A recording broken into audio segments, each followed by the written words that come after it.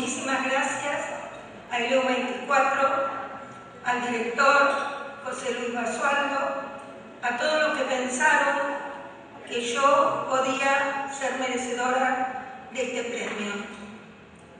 Ya que es un premio a la trayectoria, les quiero decir que en mi trayectoria nunca estuve sola. No soy de las que creen que nadie hace nada solo. Nos hacemos con los otros. En mi trayectoria estuvieron y están presentes mis abuelos, mis padres, mi familia toda, mis compañeros de estudio, de trabajo, eh, los directores con los que compartí, eh, mis compañeras jefes distritales, eh, todos los que me acompañaron y me formaron a lo largo de este camino.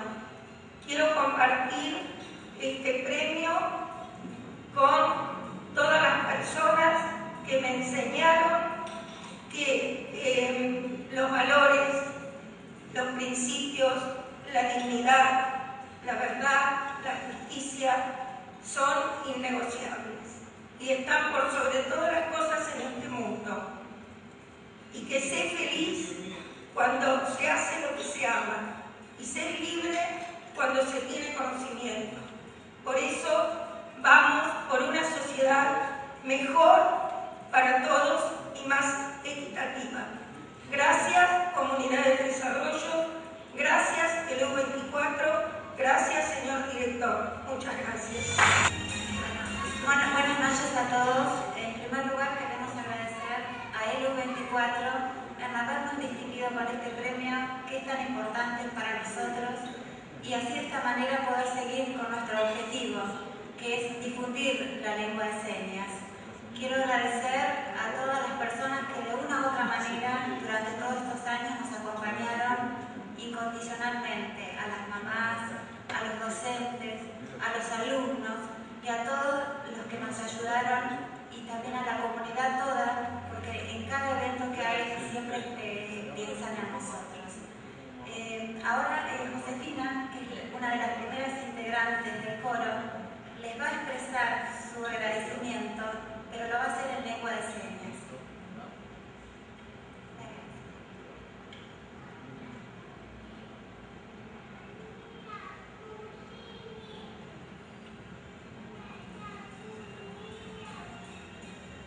Bueno, ella quiso eh, expresar que eh, a través del lenguaje de señas puede transmitir todos los sentimientos que expresan las canciones, como nosotros lo, lo podemos ver, ella lo a través del lenguaje de señas.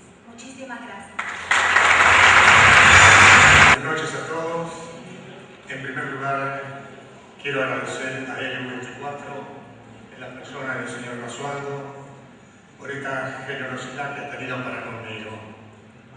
Este premio lo quiero compartir en forma muy especial con toda mi familia, con mi esposa y con los scouts, las guías, mis compañeros dirigentes y también con unos amigos que tengo en común, que es el padre Emanuel, Matías y la hermana Natalia. Muchas gracias, L24, muchas gracias Desarrollo, muchas gracias a Señores, como buen catequista, voy a iniciar mis palabras con una cita del Eclesiastes, pero que creo que nos va a poner contentos a todos. La frase es, sean pues pocas tus palabras. Bueno, en primer lugar, quiero agradecer al señor director y propietario de la radio local. Evidentemente, es un hombre que ha sabido mirar para adelante, es un hombre que ha sabido buscar la luz, dejando de lado las sombras de los rencores, de las insatisfacciones, de las injurias. Nosotros somos un pueblo desgraciadamente un poco tendiente a la depresión. Muchas veces nos cuentan que por la televisión están dando un accidente espantoso, la calle llena de sangre, personas muertas, y vamos corriendo, ven, a ver, a. No, qué horror. Veamos una consagración veamos un triunfo, veamos un éxito, que eso es mucho más importante para todos. Dije que iba a hablar poco y no quiero equivocarme. Quiero también agradecer mucho y dar un saludo muy especial a todas las personas que conmigo han compartido este premio Claras. Que Dios nos acompañe a todos y que Dios nos dé luz para seguir adelante. Nada más.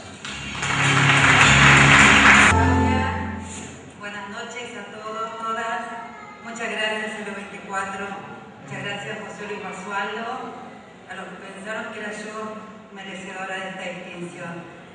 Realmente viene a culminar un año que fue muy intenso para mí.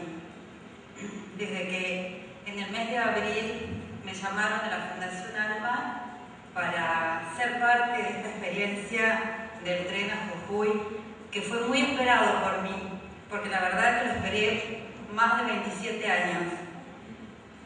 Y en Jujuy fue un viaje alucinante de trabajo, donde trabajamos con mucha alegría, con mucha entrega. Hicimos muchísimas cosas, pero también aprendimos mucho. Les podría contar mil detalles del viaje, pero en realidad quedaría solo en la anécdota, porque la verdadera transformación pasó por adentro, por los sentimientos, y eso no se puede contar, eso es intransferible. Este año también ha sido muy intenso el trabajo con el grupo Construyendo.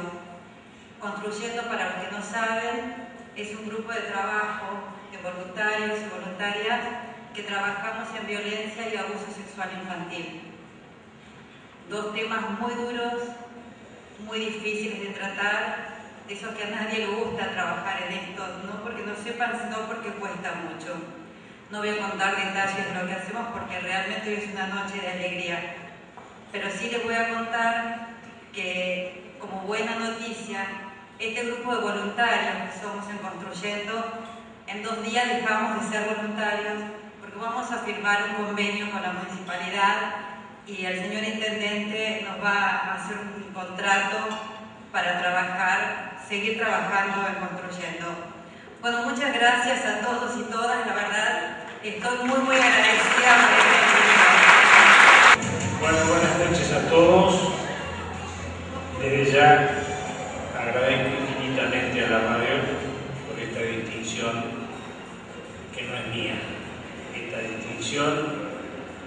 es de mi familia, de mi esposa, mi compañera desde hace casi 40 años y tres hijos. Y además, quiero decirles que a través de tantos años eh, hemos tratado de que nuestros alumnos aplicaran lo que yo siempre llamé el principio de las tres P. Principios, pasión y perseverancia. La vida, con sus avatares, sus idas y venidas, me ha enseñado fundamentalmente en estos últimos tiempos a conocer una cuarta P, que es paciencia. Entonces, eh, a través de tanto tiempo, hemos tratado de inculcar en nuestros alumnos esas tres P fundamentalmente. Eh, y hoy, en una sociedad en donde por ahí los jóvenes aparecen en muchos temas, en muchas cosas, como los malos de la película, Quisiera decirles que en esta larga trayectoria he tenido innumerables ejemplos de jóvenes ejemplares. Chicos que han aprendido a aprender.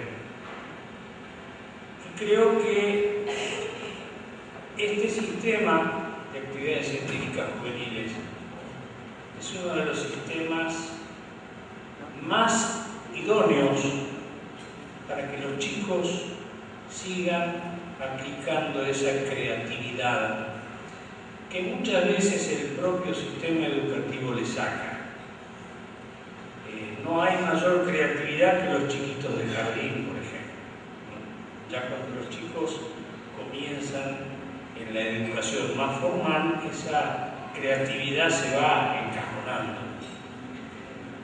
No quiero olvidarme en esta noche tan especial, en donde nos están agasajando también, en donde estamos acompañados por una excelente música, que es un verdadero alimento para el espíritu, porque la música, siendo idioma universal, es el único idioma del ser humano absoluta y totalmente desprovisto de ideologías. Es el sentimiento puro. Y en esa mezcla de sentimientos hoy no me quiero olvidar de tantísimos colegas que han ayudado yo llegue a este momento. A mis compañeros profesores, a mis compañeros docentes de todos los niveles, a mis compañeros directores, a las, eh, autoridades municipales, desde mi querido y recordado amigo Cocorolo Fulques hasta el día de hoy, Carlos Sánchez. Eh, siempre hemos tenido una palabra de aliento, apoyo para todo lo que hemos emprendido. A las autoridades de todos los consejos escolares que desde 1984 hasta ahora nos han tendido su mano y nos han dado todo lo que han podido. Eh, y por supuesto, quiero agradecerle a Dios que en estos últimos tiempos me está dando un changüí, como decíamos en el postrero cuando éramos chicos, para seguir disfrutando de esto tan lindo que es la vida. Muchísimas gracias. La autoridad, hacer algo que han hecho todos, lo que hemos recibido, que es el agradecimiento al director de la radio, al equipo periodístico, por este, este premio.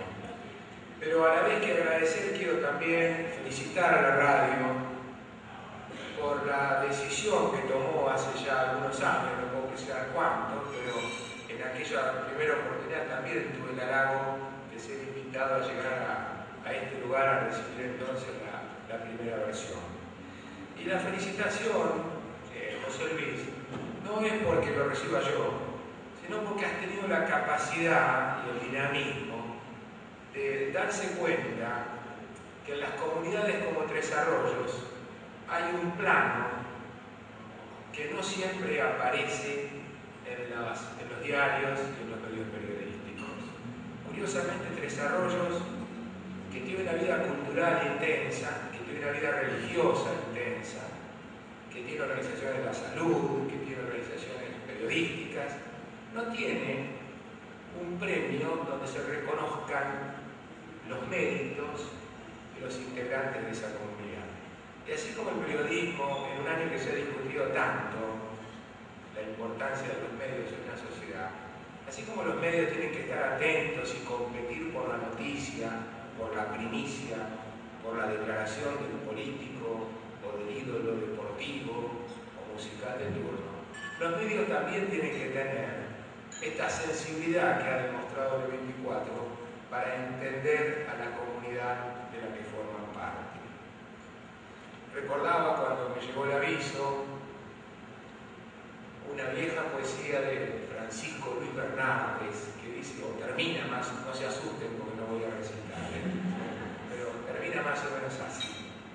Después de todo he comprendido, después de todo he comprendido que lo que el árbol tiene de